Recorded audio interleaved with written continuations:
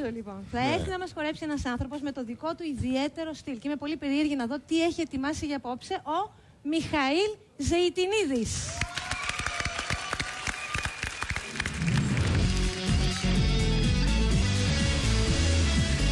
Deals a bad hand to a penguin that has laid to Να ψηφίσετε τον μπαμπά μου γιατί είναι ο καλύτερος.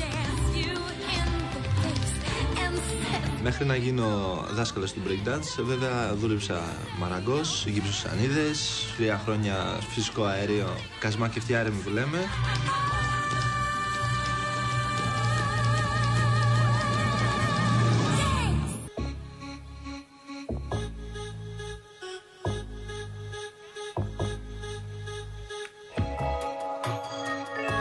Αυτό που βλέπεις μετά από ένα σημείο είναι ότι αιωρείσαι. Και αυτό μου αρέσει πάρα πολύ.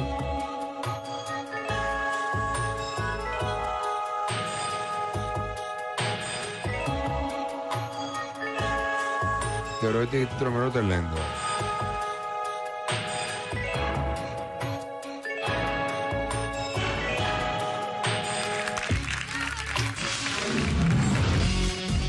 Θέλω να κάνω το καλύτερο για μένα και την οικογένειά μου.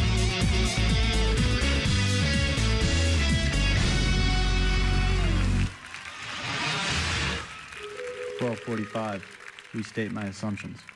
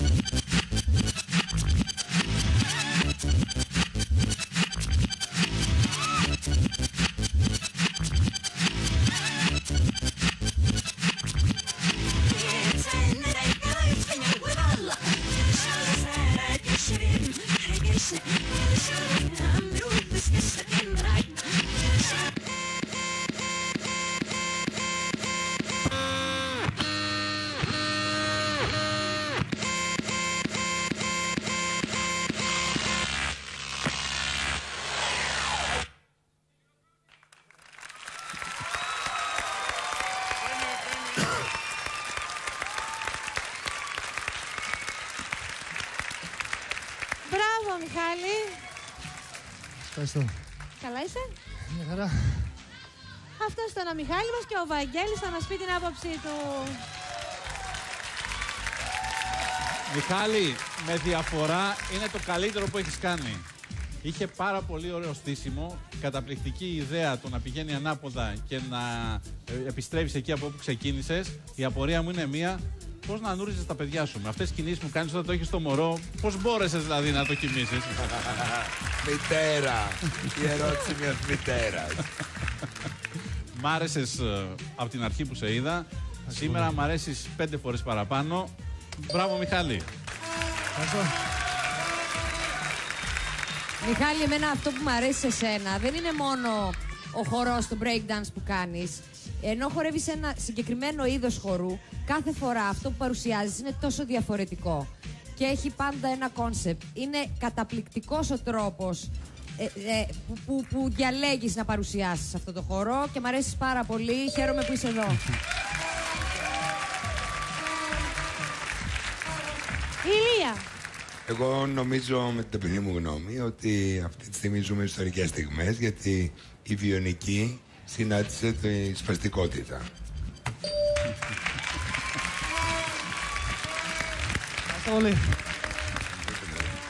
Εάν σας άρεσε ο Μιχαήλ Ζεϊτινίδης, δεν έχετε παρά να τον ψηφίσετε, να, τον- να τηλεφωνήσετε τώρα στον αριθμό που βλέπετε στις οθόνες σας και να τον στέψετε νικητή αυτού του διαγωνισμού.